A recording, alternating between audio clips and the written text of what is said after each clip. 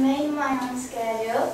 I have schedule from 8.30 to, to 30 p, uh, p.m.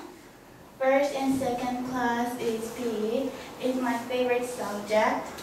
And next class is music. Music is my favorite subject too.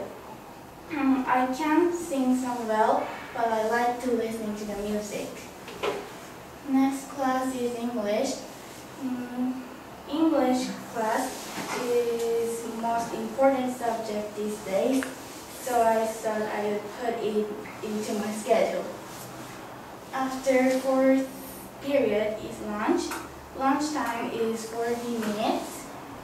By the way, lunch time is start at 11.50 to 12.35. Mm, after lunch, next class is math. Reason why I chose math is because I want to put in a kind of more seriously study my subject. The last phase period is art. Art class is fun class to me, and I like to draw picture, so I choose art in